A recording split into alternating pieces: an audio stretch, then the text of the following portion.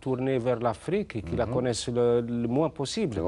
Alors que si j'avais choisi un espagnol ou un portugais ou un français, ce sont des gens qui sont restés trop longtemps en Afrique et qui la connaissent beaucoup mieux que moi.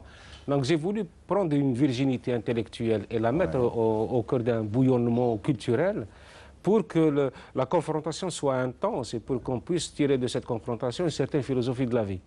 Alors effectivement, euh, c'est ce, c'est ce qui va être la trame de, de votre ouvrage, c'est-à-dire une philosophie de la vie. Oui. C'est-à-dire que comment en même temps il va être confronté, Kurt, à, à ce continent qui, dont il ignore tout, Non, il le connaît, mais à travers des stéréotypes. il télévision.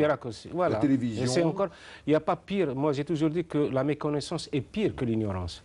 Euh, Je préfère que les gens soient ignorants Oui. que méconnaissants. Voilà. Voilà.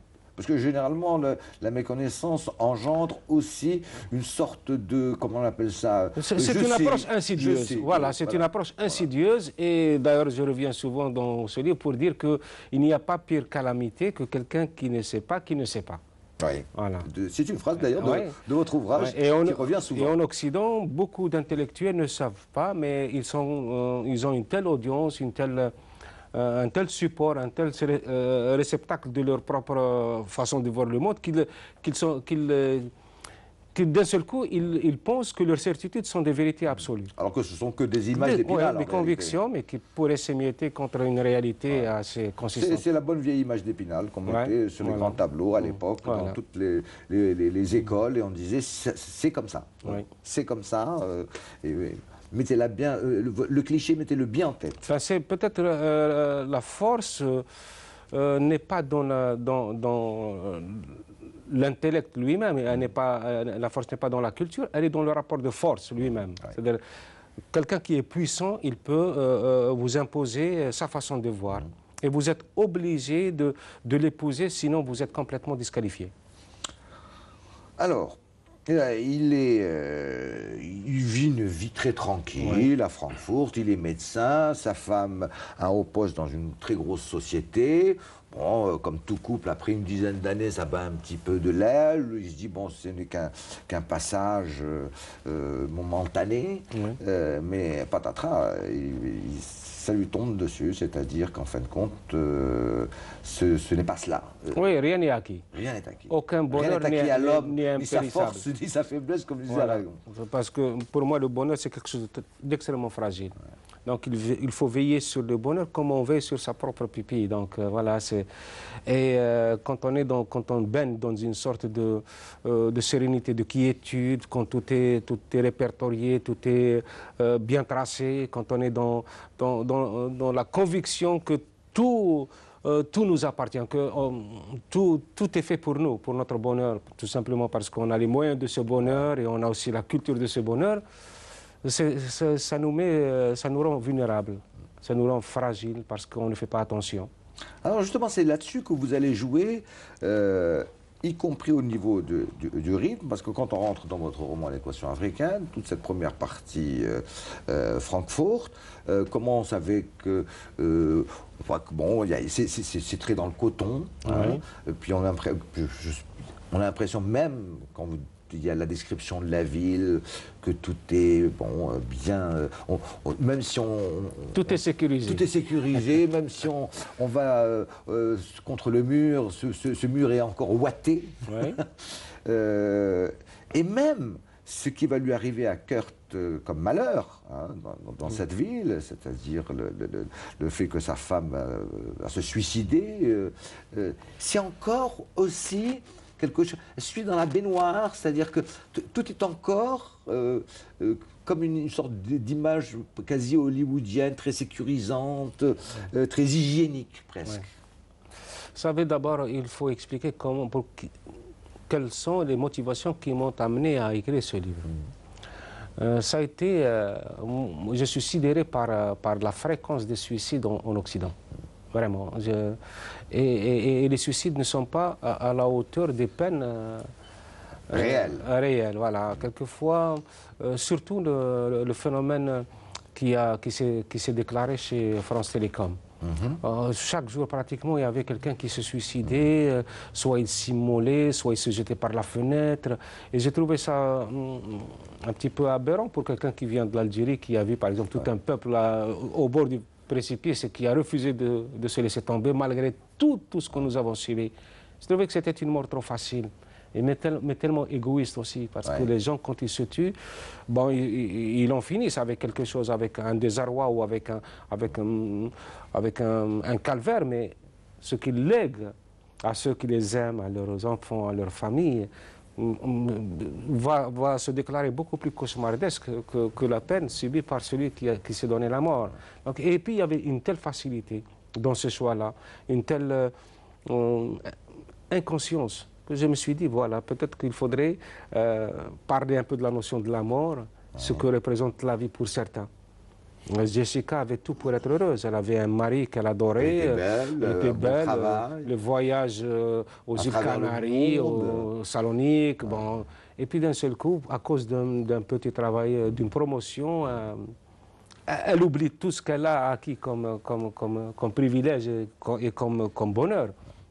Alors qu'en Afrique, les gens n'ont absolument rien. Absolument. Au contraire, ce sont des gens qui sont quotidiennement euh, ressuscités pour euh, être replongés en enfer. Et pourtant, ils ne cèdent pas. Ils ne veulent pas céder une seule seconde de leur vie. Ils veulent pas vivre une miette. Pas une miette de leur vie. Et voilà, c'est un peu euh, le, réceptacle que je voulais donner à ce livre. Alors, c'est vrai qu'effectivement, quand on lit la, première partie, on, pourrait si on est en tout cas euh, de, originaire de pays où, malheureusement euh, le malheur est profond, qu'il soit social, qu'il soit autre, hein, parce qu'il y a des guerres ou, ou des choses terribles qui s'y passent, on se dit franchement, euh, qu'est-ce qui s'est passé pour que cette euh, belle jeune femme euh, aille jusqu'à se suicider alors que rien ne, présageait une, une, mort aussi. Rien ne l'a prédestiné à une fin, aussi, tragique. Vous avez raison de signaler ce point euh, excessivement important. Euh, euh, c'est par exemple le taux de suicide des adolescents dans les, dans, les, pays dits riches, développés. Hein, quelquefois pour des, des, choses qui sont on n'aura pas acheté le dernier ordinateur. J'exagère en disant ça, mais quelquefois c'est presque ça. Ou par exemple. On a raté son bac. Ou raté son bac, ou parce que le, sa petite copine l'a délaissé, etc. Et on se dit, c'est bon, euh, dans un pays comme le nôtre, on se dirait, bon, euh, il faut. Il y a, malheureusement euh, des, suicides, et, surtout de jeunes filles, etc., mais c'est pour des raisons quand même beaucoup plus profondément graves. Hein. C'est-à-dire, il, y, a un monde entre rater son bac et un autre monde entre. Rater sa vie. Rater sa vie, qu'on vous empêche d'être heureux par tous les, moyens, on vous empêche d'aller. Vous frappez à toutes les portes et toutes les portes sont restent closes, voilà. Alors, euh, Kurt va à la dérive, euh, il ne sait plus très bien, il se pose la question pourquoi, etc. Et tout ça. Il y a deux personnes qui tentent un petit peu de, le remettre sur les rails. Il y a Claudia qui est la meilleure amie et en même temps collègue de sa, femme, Jessica. Et puis il y a surtout euh, son meilleur ami, Hans. Euh, qui lui dit écoute, euh, d'autant que le père de Jessica, lui, ne euh, le porte pas dans, dans, le cœur, dans son cœur, à Kurt. Parce que c'est un militaire, il faut C'est un militaire, oui. Hein. je, disais, Ce sont des gens bizarres comme ça. Il lui dit si ma fille s'est suicidée, c'est de ta faute. C'est que, oh, tu, as, dû la tromper. il lui dit ben, mais jamais, etc. Il, va aller au plus, au, plus pressé. Alors bon, c'est pas possible. Il y a quelque chose qui ne va pas.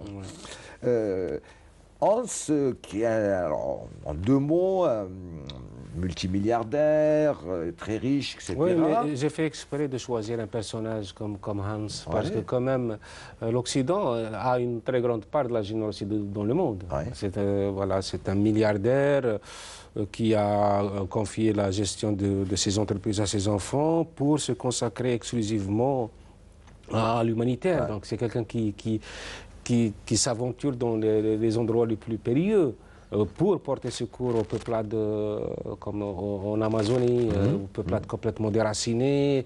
Il va au fin fond de l'Afrique, il va en Asie. Il est là où la détresse humaine l'interpelle. Donc voilà, c'est aussi. il est profondément généreux. Ah oui. Je veux dire, c'est pas pour la galerie qu'il le fait non. du tout. hein. Non, non, il Euh, n'est pas dans ce qu'on appelle les people euh, pour être euh, en première page des journaux. euh, Oui, parce que lui, il a compris, d'ailleurs, il le dit, j'espère que ce livre aussi porte un message sur, sur la vocation véritable de l'être humain, c'est être utile à quelque chose. C'est ça. Et euh, j'ai toujours dit qu'aucun bonheur n'est entier s'il n'est pas partagé. Donc le partage, ça nous, ça nous élève un petit peu euh, dans l'estime de nous-mêmes. Ça nous donne une, une place euh, honorable dans la société. Donc. Et moi, pour moi, la maturité, c'est ça. C'est dans le partage. Si on est, si on est incapable de, de générosité, c'est que quelque part, on est beaucoup plus dans l'animalité que dans l'humain. Voilà, l'égoïsme, c'est ce qu'on a, ce a de plus basique avec la violence. C'est l'égoïsme. Et s'ouvrir aux autres, aller vers les autres, euh, même virtuellement, même platoniquement, euh, c'est déjà euh, faire partie d'un monde, faire partie d'une initiative euh, louable, c'est consolider un petit peu ce salut hypothétique de l'humanité entière. C'est prouver aux gens que parallèlement aux guerres, aux atrocités, aux violences, à la malveillance, à la mauvaise foi, il existe encore des gens qui sont porteurs d'espoir. Et c'est ça peut-être qui pourrait aider les générations de demain à, à reprendre confiance. Parce que quand même, quand cette génération essaie de voir ce que nous sommes, quand elle s'aperçoit que nous sommes d'abord faillitaires, que nous allons lui léguer un monde complètement dévasté, complètement euh, chamboulé, ben cette génération, comment elle va faire pour s'en sortir? Mais quand on, quand on lui dit, euh, d'ailleurs, c'est ce que moi j'ai la chance d'aller dans plusieurs lycées en Europe, et, j'adore les jeunes. Oui, oui, je- vous vous adressez souvent aux, aux Oui, lycéens. vous aimez beaucoup. bien la rencontre des lycéens. Ils ont une curiosité qui est saine. Et puis ce sont des gens qui sont, qui sont dans une relative pureté. Ce n'est pas comme les adultes qui sont façonnés par des frustrations, par des colères, par des quelquefois par des folies. par des- voilà. Et, et- et je leur dis toujours, euh, euh, essayez de, de, de construire un monde qui pourrait un petit peu vous incarner, vous, dans votre pureté. Et Ne, faites pas de ce monde une prolongation de- ou le prolongement de ce que nous avons déjà fait. Parce que nous avons été faillitaires, nous n'avons pas été à la hauteur de, de vos espérances. Et cette jeunesse, moi, je la, je la vois beaucoup plus dans, dans, le partage que dans l'intolérance et dans le racisme et dans le rejet de l'autre. Voilà, c'est- peut-être ça qui m'a poussé à écrire ce livre, pour leur dire que, quelle que soit le- la détresse, quelle que soit le- de, euh, apparente de, de demain, vous pouvez quand même aller vers ce qui vous éveille à vous-même, c'est-à-dire le rêve, vers ce qui est salutaire pour vous, vers ce qui est contraire à ce que nous sommes en train de vous proposer. Et c'est possible. Aujourd'hui, qu'est-ce qu'on voit dans le monde? Le rapport de force qui devient la boulimie euh, insatiable, euh, c'est, tout- depuis toujours la diplomatie consistait à éviter les guerres. Aujourd'hui, la diplomatie va vers la Ouais, guerre. va vers elle la la guerre, provoque, elle la ouais. souhaite, elle la réclame à corps et à cri. Voilà, moi, je suis vraiment très, très, très détruit par, par ce qui se passe autour de nous aujourd'hui. Alors c'est effectivement le, le- le thème central aussi, euh, un des thèmes centraux, pardon, de, de votre ouvrage, Yasmina Khadra, l'équation africaine. hein. Euh, c'est euh, L'éloge à la vie. l'éloge à la vie. D'ailleurs, euh, euh, ce fameux milliardaire dont on vient de parler, dont vous dites voilà, c'est c'est un humanitaire, etc., va écrire peut-être l'une des plus belles phrases de votre roman. Et pourtant, elle est simple. hein. Chaque jour est un miracle. Oui, Il- faut que tu y crois. Oui, hein. Et pour euh, donner un peu de courage euh, à son ami Ah, Kurt, euh, ce Hans va, va lui écrire quand ils seront faits prisonniers Ouais, par ouais. des pirates, des bandits, ce qu'on voudra, etc. On ne sait même pas si c'est des rebelles, peu importe, hein, mais qui sont en train de monnayer leur rançon, mais on ne sait même pas très bien si c'est pour vraiment monnayer leur rançon. Tout ça n'est pas. Et ce n'est pas ça l'important. Pour lui redonner du courage, il va lui dire c'est ça. Tiens bon, chaque jour est un miracle. Chaque jour est un miracle. Et c'est pour ça qu'il l'emmène sur son bateau pour lui dire viens. Euh, C'était un voyage thérapeutique. voilà, exactement. Voilà. Viens voir la mer, viens voir le soleil, ne, ne- ne reste pas enfermé. Mm. euh, et tu vas voir que chaque jour que tu vas passer sur ce bateau avec les éléments qui sont autour de toi, hein, terre, mer, soleil, euh, air, etc., eh bien, vont te revivifier et vont te faire penser que une des choses les plus, plus importantes, c'est que tu es vivant. Ne l'oublie pas. Oui, euh, ce que je déplore, euh, par exemple, euh, aujourd'hui, c'est que les gens s'enferment de plus en plus dans une sorte de euh, dans une sorte de bulle. Auto-lamentation comme ça Non, il y, a une sorte de renoncement. C'est comme si d'un seul coup, euh, il, n'y a plus d'espoir, alors que chaque jour est un miracle. Donc l'espoir, c'est aussi un programme. Ce C'est pas seulement euh, une attente comme ça, abstraite. L'espoir, c'est quelque chose de concret, c'est un, c'est un programme. Et ce programme doit réunir absolument les trois éléments constitutifs, sans lesquels il n'est rien. C'est-à-dire avoir un but dans la vie, les moyens d'atteindre ce but et la motivation d'atteindre ce but.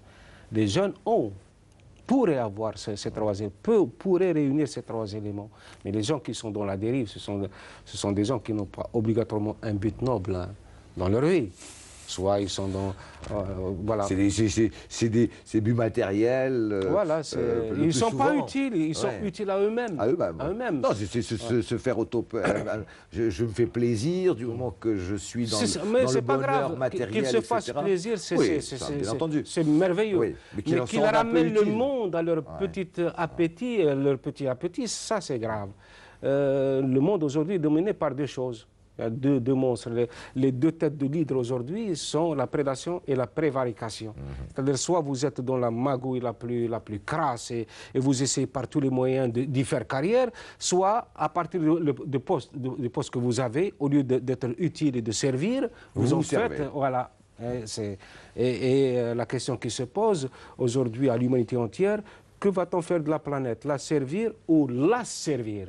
Voilà, et je vois que ce qui se passe en Afghanistan, en Afrique, mhm. euh, dans le monde arabe aujourd'hui, on est surtout dans, on n'est pas dans le service, on est surtout dans le, profit le plus, le plus immonde. Alors, je vais revenir quand même à cette première partie, parce que la, seconde partie, Black Moon, est, beaucoup plus euh, terrible, je dirais, parce que quand même, même si ça lui tombe dessus comme ça, comme un malheur profond mhm. à Kurt, 80%, je dirais, de ce chapitre, c'est ces souvenirs. Et ce sont des souvenirs où on peut presque, où vous, nous faites rentrer dans, ce monde merveilleux, où tout se passe bien, encore une fois. Mm. Il se rencontre avec Jessica, quatre mois après, c'est le coup de foudre, euh, c'est les repas le soir, enfin le dîner le soir, pratiquement aux chandelles, etc. On se marie, on, est beau, on a un bel appartement, etc.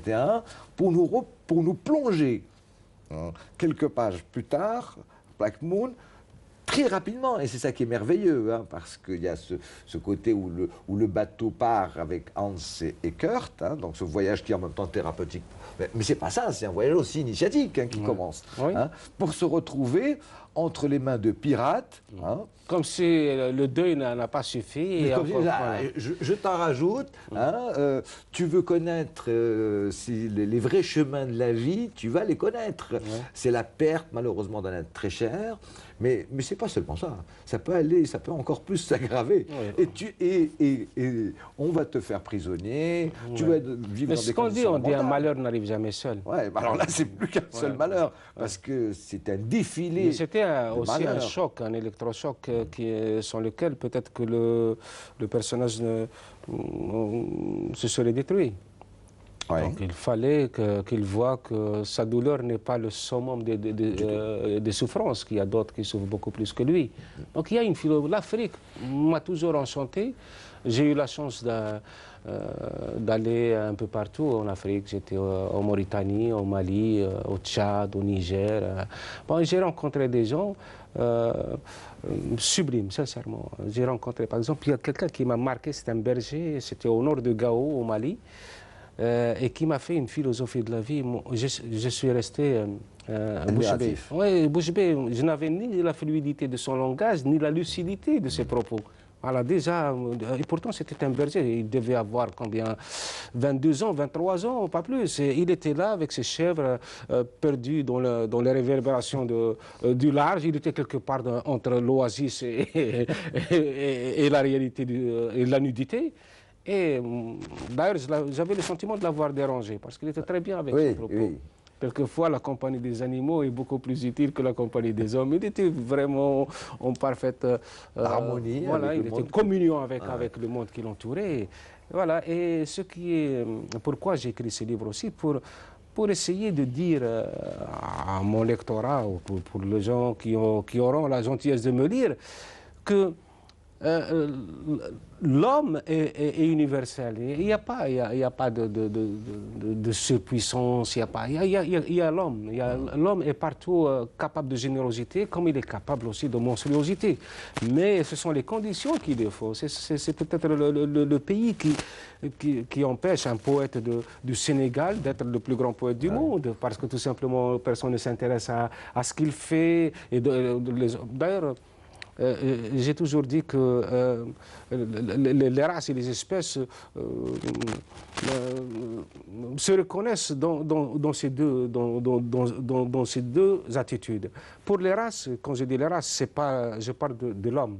On peut trouver dans une même société, dans une même famille, mhm. dans une même fratrie, un homme qui, qui, relève de la race et, l'autre qui relève de l'espèce. C'est quoi la, les gens qui relèvent de la race? Ce sont des gens qui font, je l'ai écrit, qui font du lueur une torche et du torche un soleil. Et les espèces, elles font, dès qu'elles voient un semblant de lumière au bout de leur tunnel, elles crient au feu. Donc c'est une question d'attitude. Si on est dans la générosité, si on est dans la noblesse, par exemple, de, comprendre que euh, toute générosité est à prendre. Il ne faut pas la laisser. On est dans la race. Mais si on est dans la négation de cette même euh, générosité, c'est que euh, on est dans l'espèce et non pas, même pas animal, parce que les animaux, quand même, euh, ils ne rejettent pas la générosité. Donc j'essaie de dire à ces gens-là quel abysse se trouve ces, consciences-là, ces intellectuels-là, qui pensent qu'en Afrique, peut-être que les gens parlent avec des gestes. Voilà, c'est une, une critique et c'est sorti dans la presse et aucun, euh, aucun, rédacteur ne lui a dit, écoute, mais qu'est-ce que tu es en train de dire? Mm, mm. C'est-à-dire pour eux, le, fait de faire parler mes personnages de cette manière, euh, ah oui, bah, bah, ce n'est pas. Oui, oui, ce n'est pas possible. Euh, pour eux, non, en Afrique, on, doit parler peut-être par une espèce de, euh, de patois assez... Toper peut-être, oui, grognement. Voilà. Et ça, c'est terrible. Et beaucoup de gens croient tout simplement que la parole, elle est surtout euh, occidentale, elle n'est pas, pas... Alors que des poètes, les griots, les, les philosophes, les sages, parce que la philosophie chez nous, en Afrique, ça s'appelle la sagesse. Elle est, elle, est, elle, est, elle, est, elle est une sublimité elle est, elle est, elle est cosmique, mais personne ne s'en rend compte. Voilà. Euh, ce que nous voyons justement en Occident, c'est la cuistrerie. Aujourd'hui, c'est la cuistrerie qui fait office, qui fait office d'intellect, de, savoir, de, science. Et, dans cette, quand cette cuistrerie est euh, imposée comme, comme, euh, comme un mode de réflexion, on débouche sur la cheptélisation des masses. Les gens, ils prennent ils prennent euh, pour argent comptant tout ce qu'on leur raconte. Et ils, deviennent réfractaires à ce qui ne vient pas de leur, de leur, de leur milieu à eux, de leur façon, de leur, de leur propre perception du monde. Et c'est ça, c'est là où intervient un écrivain. Il faudrait qu'il dise. Ah ben là, vous l'avez complètement cassé, cette idée. Euh, j'espère. Ah oui, totalement. Parce que dans toute la partie Black Moon, euh, le rapport terrible euh, qu'il va y avoir entre euh, donc euh, votre personnage Kurt, ce docteur allemand qui va se retrouver fait prisonnier par ces, ces, pirates, et Joma, euh, qui, que vous présentez dès le départ, hein, comme la brute la plus épaisse, la plus terrible, la plus anti-occidentale. Et d'ailleurs, il lui dit, euh, dès le départ, il lui dit, toi et moi, il va y avoir un règlement de compte qui date depuis des siècles. Absolument. Ah, ça, va, ça va se passer comme ça. De toute façon, je t'ai dans le collimateur. Il y a d'autres, euh, comment on appelle ça, otages, mais toi, je, t'ai repéré. Je t'ai repéré. Je pas les yeux Je pas les yeux et en fin de compte, euh, bon, je, on ne va pas dévoiler euh, tout le fond du roman, euh, mais c'est vrai que cette confrontation que vous mettez dans cette partie, elle est fabuleuse, magnifique, parce que et l'un et l'autre euh, euh, on, va, on, va, savoir que ce sont deux générosités qui se tournent le dos. Voilà. Ah. Il fallait juste qu'ils se regardent en face pour, pour, pour fusionner. Voilà. Euh, Alors, si, vous me permettez, hein, parce que, tout à l'heure, on parlait de, du titre et mm. équation, donc moi je suis allé chercher un petit peu à droite et à gauche. Moi non plus, je suis nul en mathématiques, je trouve que, que, la, que la, la, formule de, de, définition de l'équation au niveau dictionnaire, toute simple, je, la trouve magnifique. Bon, une équation en mathématiques est une égalité contenant une ou plusieurs variables. Mm.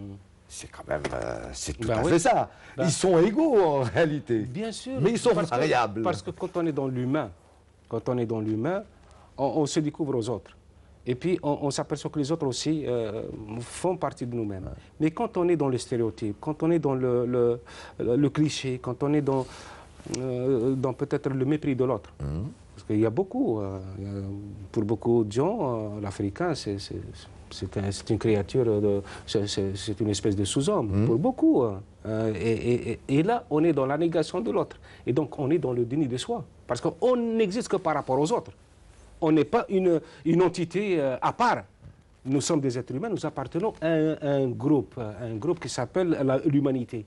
Et quand on fait abstraction des autres, quand on fait négation des autres, on- quelque part, on, Mais là, vous avez été très loin, euh, Ismail Khadra, dans Mais cette partie-là, fallait- entre euh, tous ces personnages-là. C'est-à-dire, il va y avoir euh, Bruno, l'anthropologue, qui, Oh, qui se sent complètement faux, anthropologue. Qui se... bon, On ne sait même pas ce qu'il est. D'abord, ça n'a un- aucun intérêt. L'intérêt, c'est qu'il aime l'Afrique, il se sent africain. voilà. Donc, il est, il est complètement euh, recomposé. Sa vie, s'est complètement recomposé avec la terre africaine, avec l'homme africain.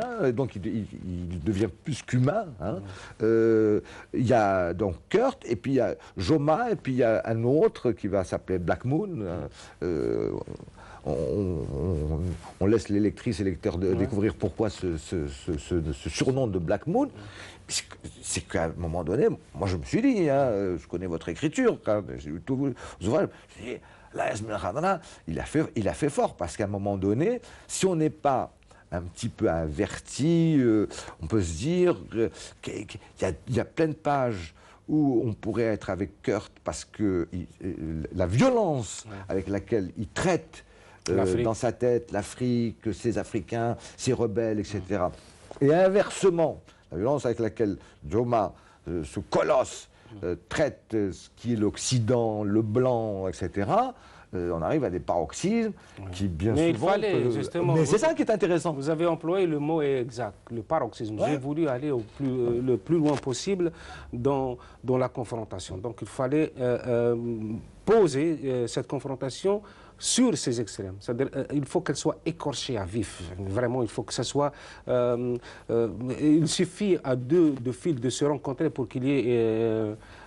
comment dirais-je euh, pour qu'il y ait une sorte d'étincelle plus pire que ça. non, mais un court-circuit. incendie, incendie. Ouais, un court-circuit, voilà, c'est ce que moi, un. Et, c'était la seule façon peut-être de, de, euh, de hurler plus haut que le chahut de l'humanité. Ouais, il faut se faire entendre. Parce qu'il y a un chahut, dans le, il y a une cacophonie qui est exécrable et qui est aussi déroutante.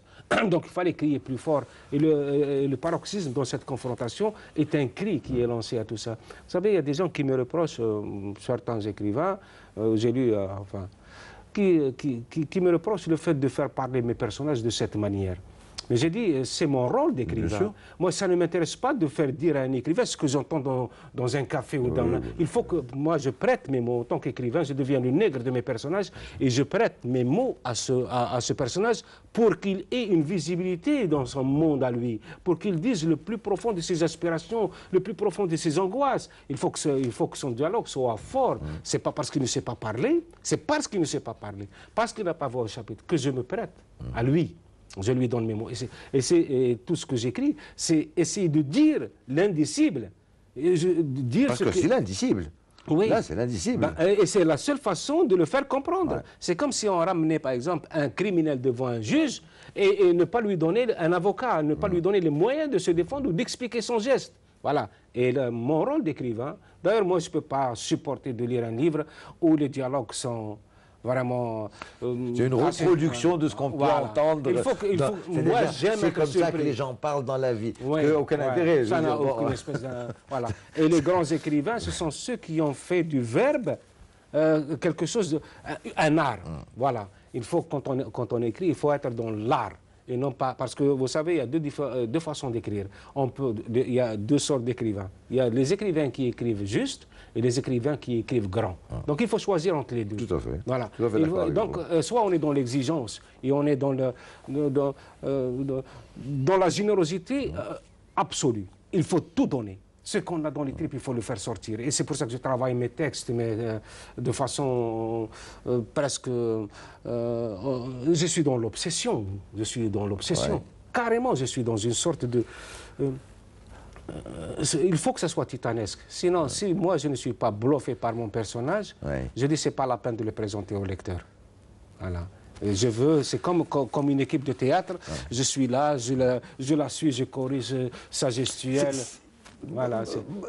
Moi, je vous suis là-dessus. là. Euh, je vous suis euh, dans le sens en tant que lecteur, hein, parce que effectivement, euh, quand il y a un personnage qui n'a pas grand-chose à dire dans, dans- dans vos romans, hein, bon, il, il est là comme même pas, il est comme décoratif presque. Voilà. hein. Il fait de la figuration. Puis voilà, la figuration. Et puis tout d'un coup, euh, il y a des personnages, euh, quand ils apparaissent dans votre roman, on se dit, bon, euh, peut-être qu'il ne va pas avoir grand-chose à dire. En réalité, à un moment donné, ils prennent comme ça de l'ampleur, ils s'étoffent et tout cela. Et incroyablement, pour le plus souvent, vos personnages, je ne parle pas seulement de l'équation africaine, Mm. commencent à s'éto- à s'étoffer quand ils parlent. Ouais. Et non pas quand vous les décrivez. Ouais. Comme si vous disiez, bon, euh, oui, je peux, je peux en faire un personnage très, très, voilà, vraiment de premier plan dans mon livre, mais j'aime bien le laisser parler lui-même. Et à ce moment-là, on se fait une idée de qui il est, Absolument. et euh, on se dit, tiens, mais qu'est-ce que c'est- qu'est-ce qu'il peut avoir dans le crâne, ce gars hein? Pourquoi Et il est là? Pourquoi il est là? Et, puis- et- et puis son discours, il signifie quoi hein? Il, est quoi dans ce, ce, ce- ballet que nous construit Yasmina Khadra à travers l'ensemble de ses personnages? Il y a une autre question que je voudrais vous poser, vraiment, parce que c'est... Je parle de la littérature algérienne en général. juste, vous savez, il faut, pour moi, l'élégance suprême d'un écrivain, c'est de s'effacer devant son personnage. Oui, oui, oui. Voilà. oui, oui. On est là au service du personnage. C'est comme si on dirigeait une pièce de théâtre. Ce sont les acteurs qui s'adressent au public. Donc il faut aller, il faut vraiment. Vous aurez, vous beau faire, de toute façon, ils vous échapperont. Non, Non, je veux dire, les- il y a un qui m'a échappé, c'est Zan, de Les Années du Seigneur. Ah, ouais. Celui-là, j'ai jamais voulu qu'il soit le, vainqueur. Là, il est- il je là. vou- je voulais m'en débarrasser à chaque chapitre. Il était, chaque chapitre là. Et à la fin, c'est lui qui a eu le dernier mot. Peut-être qu'il y avait une réalité algérienne derrière tout ça. Peut-être parce que je ne l'aimais pas, parce que je n'aimais pas la réalité algérienne, sur quoi elle allait déboucher. Mais c'est le seul personnage qui m'a qui m'a vraiment dépassé. Je voulais vous poser une question. C'est- elle est, elle- en fin de compte, c'est une question, mais il y en a deux sur l'équation C'est- C'est une africaine. question algérienne. Voilà, exactement. D'abord, euh, ce qui m'a étonné quand j'ai lu l'équation africaine, c'est que, premièrement, euh, c'est comme ça, non C'est le. J'en connais pas d'autres, en tout cas, à ma connaissance, à ma connaissance comme ça, j'en connais pas d'autres.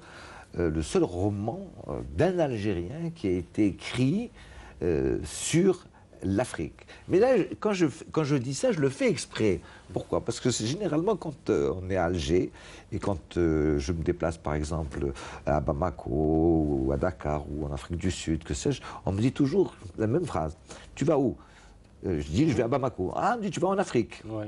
Alors, et c'est pour ça que je me dis elle est double la question, parce que euh, moi, ma connaissance, j'ai j'ai pas lu d'autres livres euh, concernant cette partie, puisque ça se passe euh, principalement dans le Darfour, hein, donc dans ce qu'on appelle la- l'Afrique subsaharienne. La- hein. la- non, la corne de l'Afrique. La oui. corne de l'Afrique, pardon. Mais même sur l'Afrique subsaharienne, il n'y a aucun roman algérien qui, qui en parle. Et je me disais, est-ce que Ismaël Khadra n'a pas voulu aussi faire passer le truc en disant, mais attendez, on est, on est, on est africain, peut-être d'autres, une autre variable de l'équation africaine, nous les Algériens, ou les Maghrébins d'une façon générale. hein. Euh, c'est-à-dire que c'était en même temps en s'adressant à, un, lectorat qui est étranger, notamment le lectorat francophone, etc., ou autre, hein, parce que vos, livres sont édités dans 40 euh, pays, dans le- 41 pays dans le monde, hein, traduits. Euh, je me dis quand même, Je veux dire, euh, c'est vrai, hein, il n'y a pas, y a pas- y a- pas d'Algérien qui, qui Oh, il n'y a pas d'Algérien non plus qui, qui, qui parle. euh, De Francfort, oui, mais ça, c'est pas. Si, il y en a. non, Justement, il y en a. C'est-à-dire, Il n'y a, a pas d'Algérien qui, euh, qui, qui, écrivent, par exemple, euh, des livres où, y a pas, où le personnage ne soit pas d'un autre Algérien. Et, je suis en train de dire euh, à tous les écrivains du tiers-monde ou d'Afrique qui sont aussi responsables de, tout ce qui se passe à travers la planète. Il n'y a aucune loi qui leur interdit d'intervenir aux États-Unis, d'écrire sur les États-Unis ou sur le Brésil ou sur l'Afghanistan ou sur l'Irak, parce qu'il faut qu'ils soient concernés en tant qu'intellectuels et en tant que euh, citoyens du mm. monde par ce qui se passe euh, sur, autour de cette planète. Mm. On a laissé, on, est resté, par la force des choses, mm. on est devenu comme une espèce de, de réaction endémique. C'est-à-dire l'écrivain marocain parle du Maroc, l'Algérien parle de l'Algérie, et on a laissé le reste du monde aux autres, aux Occidentaux. Et ce sont les Occidentaux qui nous, qui nous l'ont expliqué, mais à leur manière avec leur culture. Et la chance que nous avons, nous, par exemple, en Afrique ou dans le monde arabo-musulman, c'est d'abord la double, la double culture. Nous avons euh, une culture africaine, nous, pour nous les Algériens, nous avons une culture arabo-berbère, nous avons une culture euh, francophone, nous avons un regard sur tout et nous avons su puiser dans chaque générosité euh, une substance qui pourrait faire de notre générosité une, une, une générosité plurielle. Uh-huh. Donc nous sommes capables de dire le monde. Et je le prouve, je le prouve. Voilà. Et peut-être c'est une invitation à, nos écrivains de sortir un peu de leur, de leur euh, site géographique ou culturel et d'aller euh, explorer d'autres univers. Et puis il y a aussi euh, ce regard qui, se doit d'être différent, qui se doit d'être plus ou moins proche d'une réalité africaine. Moi, nous sommes africains. Ben mais l'Afrique subsaharienne, quand, quand, il parle de l'Afrique, il ne cite pas le Maghreb. Et le Maghreb ne cite pas l'Afrique. Voilà. Et c'est comme s'il y avait le Sahara euh, n'est pas, n'est pas euh, seulement un désert, mais c'est une frontière euh, inexpugnable. Ah c'est pire qu'une mer qui nous séparerait. Hein. Alors que toute notre histoire, elle s'abreuve de part et d'autre. La première promotion de comment, les, les Kunta est sortie de, de la D'Exar de Kerzaz, la première promotion. Et elle est partie euh, semer euh, son, savoir à travers toute l'Afrique subsaharienne. Nous sommes aussi, nous avons eu des savants qui ont enseigné à Tombouctou et des, gens de Tombouctou qui sont venus enseigner, à Tunis, euh, au Maroc. Donc, et pourquoi aujourd'hui, alors que nous avons tous les moyens de voyager, en, cliquant sur, sur, sur, sur, une souris, on a peut-être toutes les informations que nous souhaitons sur telle ou telle chose. Pourquoi aujourd'hui euh, euh, il y a ce recul, ce repli sur soi. C'est comme si l'agression... Mais, c'est pour ça que je vous dis, en tant qu'Algérien, je l'ai lu pour beaucoup comme ça, de votre part. C'est-à-dire de dire, mais c'est incroyable, euh, pourquoi il y a une sorte de, rupture qui est dans la tête. C'est sûr que cette rupture a été pour beaucoup, comment on appelle ça, attisée par le, colonialisme et l'après-colonialisme, le néocolonialisme, etc. Mais il y a aussi une part de notre responsabilité à nous tous Africains. Ah. Si, nous voulons un jour euh, euh, qu'on nous entende, il faut parler aux autres. Bah Pas seulement de nous, mais il faut aussi leur parler. Vous savez, il y a beaucoup de gens qui me demandent d'écrire un livre sur la France. Ils veulent savoir ce que je pense moi des Français. Je dis, euh, qu'est-ce que je peux penser des Français?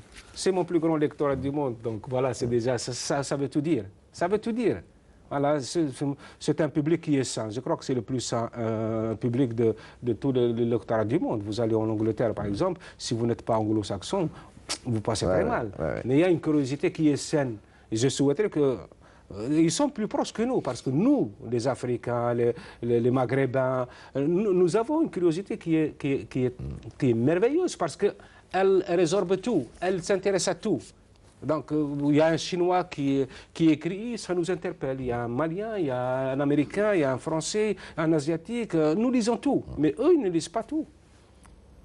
En tout cas, c'est ce qui m'a terriblement intéressé, Yasmina Khadra, dans votre ouvrage, c'est qu'effectivement, euh, on pourrait vous poser la question, mais pourquoi effectivement prendre des Kurt et Hans qui sont allemands, Bruno qui est français, vous auriez pu y inclure un Algérien, etc. excusez-moi, moi je vais répondre un petit peu à votre place, mais l'écrivain est algérien. c'est tout. Donc ça suffit, c'est bon. C'est qui parle? Il faut se débarrasser de certaines chaînes. Euh, je trouve que par exemple le talent algérien, il est sublime, mais il se doit de recouvrer un espace nouveau. C'est son devoir. Il faut qu'il pousse des portes dérobées, il faut qu'il ait le courage d'aller ailleurs. Voilà. Yasmina Khadra, l'équation africaine, euh, en tout cas, c'est une, immense cri d'amour pour ce continent. J'adore. Euh, ça, vraiment, euh, une, écriture encore différente. il le faut. Vraiment. Vous savez, ce que je fais Pour chaque livre, j'essaie de créer un style. Parce que pour moi, les univers sont différents et je n'ai pas le droit d'être le même en racontant des, univers différents. En tout cas, ça m'a beaucoup, euh, beaucoup étonné parce que je ne m'attendais absolument pas au départ, surtout que que le livre peut peut être au départ, on se dit, mais qu'est-ce qu'on va afficher encore? À Francfort, encore en Allemagne, etc. Eh ben, pas du tout. ça n'a rien à voir. Il faut, faire confiance au guide. Absolument, Et puis de toute façon, un livre, c'est comme ça. Hein. Il, faut, il faut le lire en entier, euh, totalement, même si à un moment donné, il peut nous paraître, euh, soit on se dit, mais qu'est-ce que c'est que ces, embûches que nous met l'auteur? Mm. Justement, il faut aller avec l'auteur, sauter les embûches. C'est paru chez Média Plus, maison d'édition 6 à Constantine. Euh, encore une fois, nous saluons notre ami euh, Hanashi. Euh, et tous les Constantinois, et, tous les, Algériens. Et tous les Algériens, et tous les Africains. Très universel. Pas de jaloux. Pas de jaloux. voilà, je vous propose juste une phrase de Arthur Kessler pour terminer. dans l'équation sociale, l'individu figure à la fois le zéro et l'infini. Et je trouve que ça va très bien à votre roman, Yasmina Khadra. L'équation africaine, Mais pas le, zéro, pas le zéro, Merci mille fois. Je vous donne rendez-vous à la semaine prochaine pour un nouveau numéro d'Expression Livre sur votre chaîne Canal Algérie. Je vous souhaite une excellente fin de soirée. Allez, à la semaine prochaine. Bonsoir à vous, bonsoir chez vous. Même jour, même heure, même punition. Bonsoir.